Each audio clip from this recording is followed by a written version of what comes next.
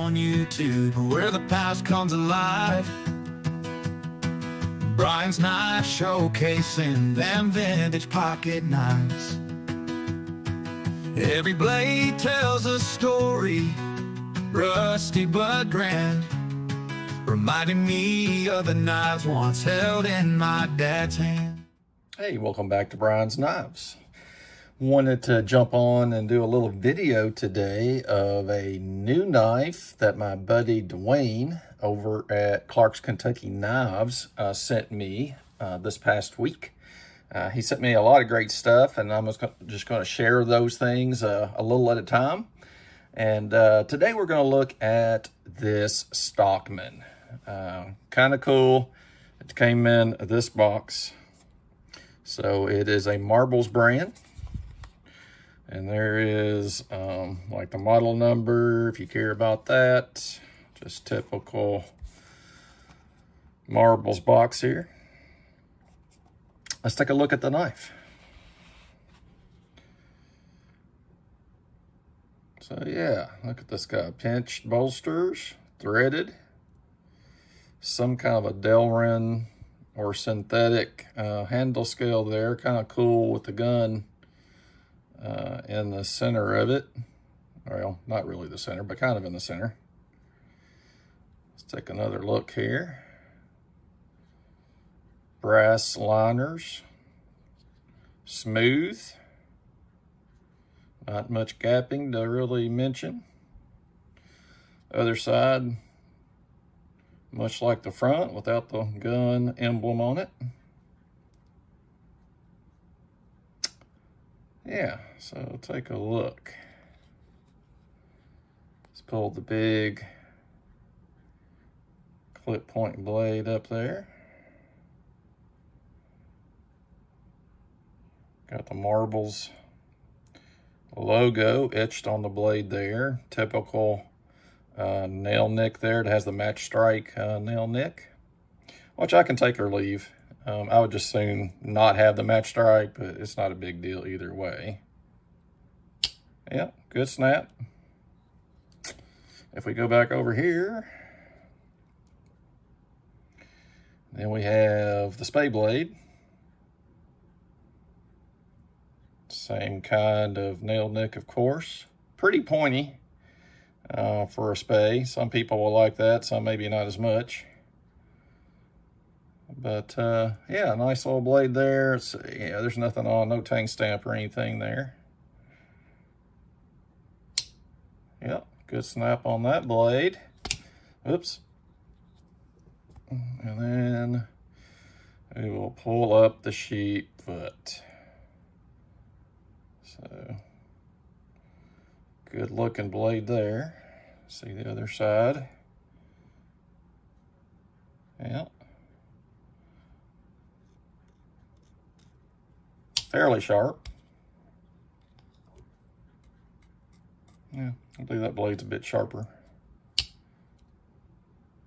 But yeah, a nice uh, little knife for sure, Dewayne. I appreciate it so much. I've never, this might be my first Marbles branded knife. I'm not sure that I've ever had one, so that's kind of cool.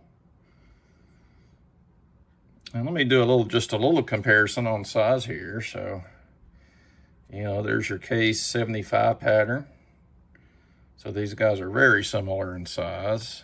Uh, let's see if we can tell. Yeah, I mean, that's basically, basically the same size knife here. Probably a little hard to tell there do a little blade comparison just to get an idea here. No half stops on that knife, but neither is there on the 75. Uh, and again, very similar in size and shape, of course. So yeah, that's kind of what we got there. Does I just noticed this does have the, the Marbles tang stamp on it as well. See if y'all can see that. I should have looked. I'm not sure what these knives sell for, but um, they're fairly inexpensive, I think. It's a pretty good looking knife, in my opinion. I'm liking it, that's for sure. And I know it's late, but I'm going to tag it um, for the Satterman, um, yeah, Saturday Stockman Stampede that uh, Brother Terry uh, created an open tag for some time ago. And I've not had a new Stockman in a while, so this is perfect for that. Uh, I hate that I didn't get it up yesterday, but uh, we uh, took a drive uh, out of town for a good part of the day yesterday. And uh, so I just didn't get around to getting a video out outside of the one that the short that I made while we were down at Heather's grandmother's property. Yeah. Not a bad looking Stockman at all. Kind of like this guy. So yeah, so that's uh, going to go in the collection today.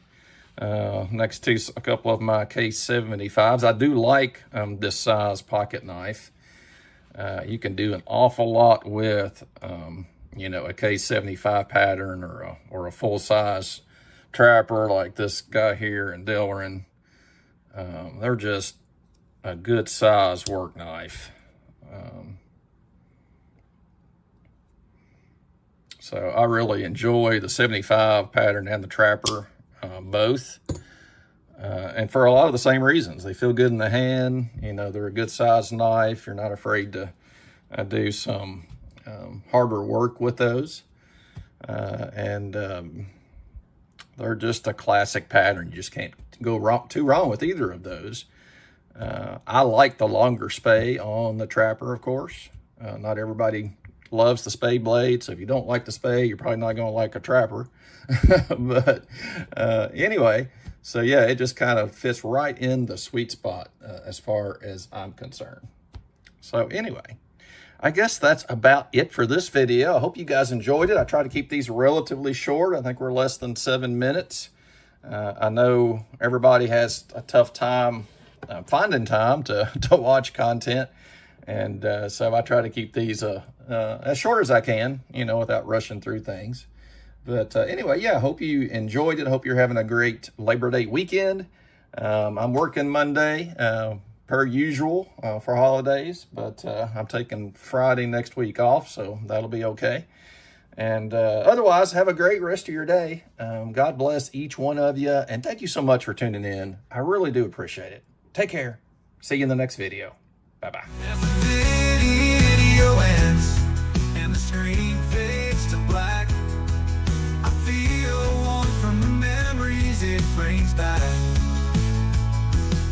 Dad's legacy lives on each collector's find. In those vintage blades,